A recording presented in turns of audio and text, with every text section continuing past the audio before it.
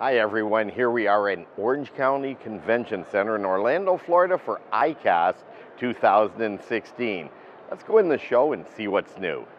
Here with Abu Garcia product manager Andrew Wheeler and he has something that could be the lightest bait cast reel on the planet. Am I right or wrong? Yep, that's right now it's the lightest bait cast reel, low profile bait cast reel around. All right, now what reel is this? Is this the MGX? This is the new MGXtreme. So it's like MGX on steroids. It's, we've redone all of our MGX family reels. So uh, the new MGXtreme, four and a half ounces, super lightweight in the hand, you know, has all the performance upgrades you'd expect. We have a super light concept spool. We use a hybrid ceramic bearing system, so it really improves that castability, so just an amazing casting reel. Has our IVCB braking system, so it's an externally adjustable centrifugal brake.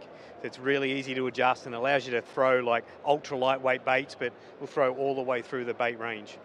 Well, I was at the uh, new product section here at ICAST this morning, and I picked up all of the other reels that were in the category, and then I picked up that reel, which was my sneak preview of it uh, before the show opened, and uh, I must say it was the lightest reel just by feel, bar none, from anything I felt.